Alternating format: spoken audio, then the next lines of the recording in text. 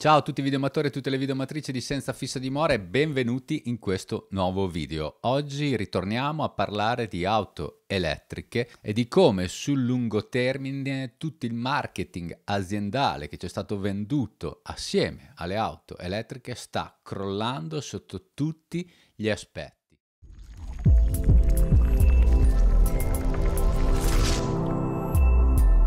Innanzitutto ci tengo a dirvi che questo non è un video promozionale per le vetture termiche, non è neanche un video che vuole attaccare le vetture elettriche. Non ce l'ho né con una né con l'altra categoria, non voglio fare apparire una meglio dell'altra, sto cercando solamente di valutare senza soccombere al marketing aziendale tutto quello che c'è stato detto detto a proposito dell'auto elettrica e di come nel tempo si è rivelato una immensa bufala. Fake news, bullshit. Se volete vedere, se vi piace ascoltare, se siete degli affezionados all'auto elettrica, se volete solo sentire una campana, questo non è il video che fa per voi. Vi sono decine, centinaia di influencer di tutte le altezze, più o meno intellettuali, che la promuovono. Gente che viene pagata per andare in Svezia a provarle e fare finta che va tutto bene gente che viene pagata per restare in Italia a provarla e fare finta che tutto è magnifico. Uno dei miti da sfatare, una delle più, grandi balle che ci vengono raccontate è che l'auto elettrica costa meno dell'auto termica.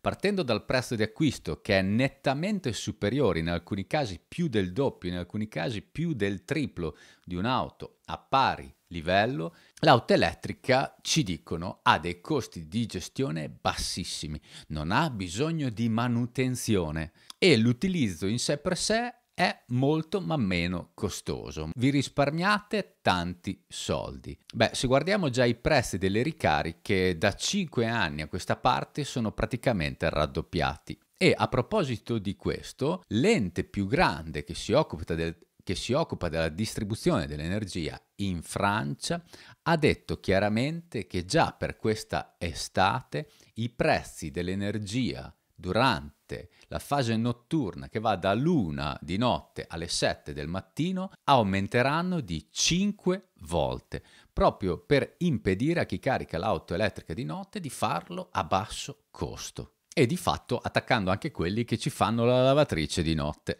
Come abbiamo già visto, stanno finendo gli aiuti per la vendita delle auto elettriche, il marketing aziendale che è attuato dai governi sponsorizzando l'auto elettrica come se fosse la soluzione a tutti i problemi, quando in realtà non lo è per nulla, questi aiuti stanno finendo. La prima che ha chiuso il rubinetto è stata la Germania e quello che si è visto è che le persone, se non si aiuta a livello economico la vendita, quindi se non risulta conveniente comprare un'auto elettrica, quello che scelgono le persone sono i motori termici. La vendita delle auto elettriche in Germania è crollata a picco ed è crollata in tutti i paesi che sostanzialmente hanno smesso di sovvenzionarle. Come vi ho detto tante volte, se una cosa è sovvenzionata, sanzionata dallo Stato è perché è invendibile, non si vende, non funziona. Per venderla c'è bisogno di una sovvenzione statale. Pensate che la Francia dà 6.000 euro di sovvenzione sull'acquisto di ogni auto elettrica, abbassando così di 6.000 euro il prezzo alla vendita. Una cifra enorme.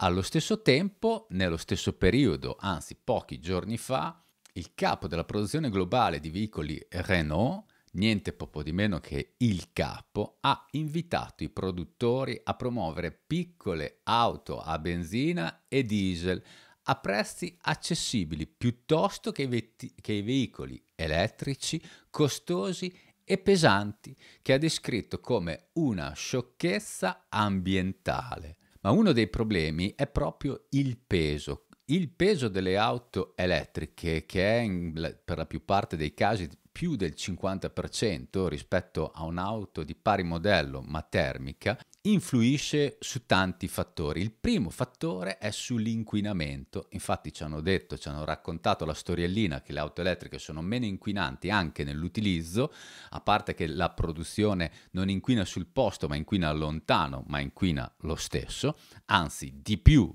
che per produrre un'auto termica, perché c'è tutto il pacco batterie, ma anche tralasciando questo fattore che non andrebbe per nulla tralasciato, il peso in sé per sé inquina. Perché inquina? Perché i pneumatici hanno una durata molto ma molto inferiore e le polveri che emettono i pneumatici sono molto ma molto inquinanti fanno parte di quel tipo di polveri che tutti conosciamo e che tutti sappiamo quali problemi danno. Ma non solo, il peso influisce anche su un altro fattore, sul fattore dell'energia. Sappiamo tutti che l'energia è la velocità per la massa e quando succede un incidente le auto elettriche subiscono dei danni molto ma molto superiori proprio dovuti al loro peso e questo incide su diversi fattori. Il primo è anche quello ovvio sulle riparazioni. I danni sono molto maggiori e le riparazioni, oltre a essere quasi impossibili in molti casi, infatti è difficilissimo trovare persone che abbiano le qualifiche per riparare in maniera congruente, in maniera effettiva un'auto elettrica, ma il loro costo in sé per sé è già del 30-50% superiore per gli stessi pezzi, lo stesso tipo di riparazione su un'auto termica costa dal 30 al 50% in meno. E questo influisce sui costi delle assicurazioni.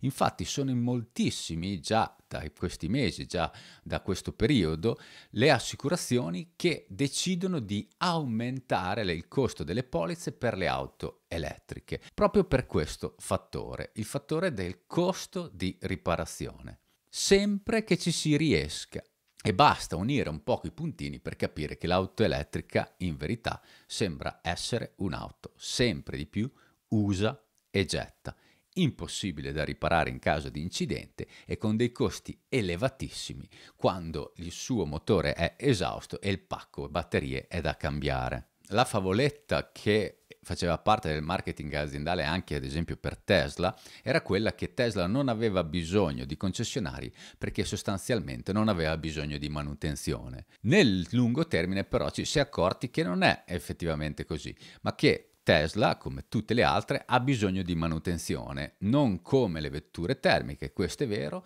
ma quando poi ha bisogno di una manutenzione vera, quindi ad esempio sostituire il motore che ha una durata inferiore a un motore termico o sostituire il pacco batterie, qui la faccenda si fa estremamente complicata. Primo, per trovare le persone che sono in grado di fare tutto ciò e sono pochissime, quindi quello che quindi la condanna della Tesla è essere un'auto usa e getta, ma anche nel caso in cui, ad esempio, qualcuno trovi personale adeguato, personale formato per fare questo tipo di riparazioni, i costi sono esorbitanti.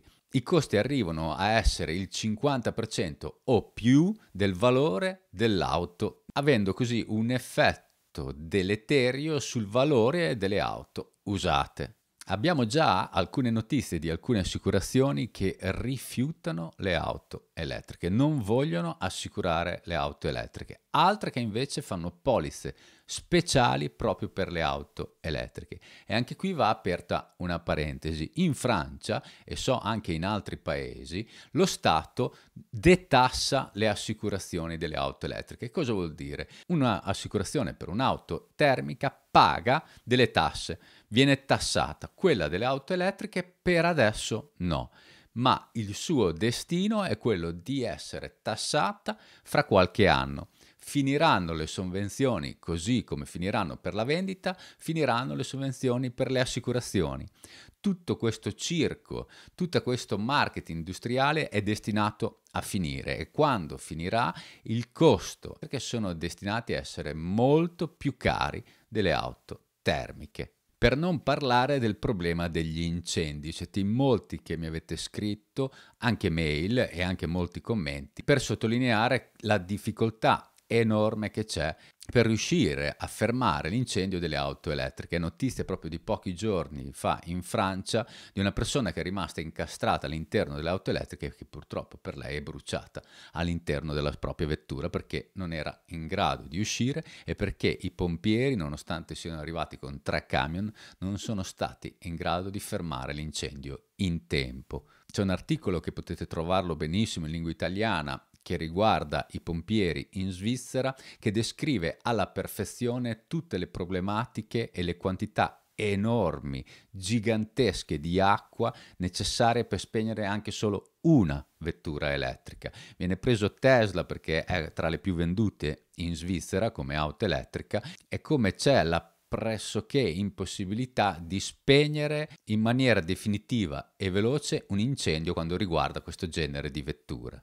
Prima di chiudere vi dico già che molti mi chiedete le fonti di tanti di tanti articoli che leggo, di tanti dati che vi porto, in verità le fonti le potete trovare benissimo anche da voi, sono tutte ben raggiungibili, alcune sono in lingua francese, alcune sono in lingua inglese, altre sono in lingua italiana. Il perché non le metto direttamente nel sottopancia è che molto spesso questi video qui poi vengono copiati a raffica da un insieme, da una serie di canali che trattano più o meno le stesse tematiche, ma che mai e poi mai mi menzionano come fonte originale. Vi ringrazio a tutti per aver seguito questo video fino in fondo, vi invito come sempre a mettere un pollicione in su, a condividerlo nei vostri social e a iscrivervi al canale.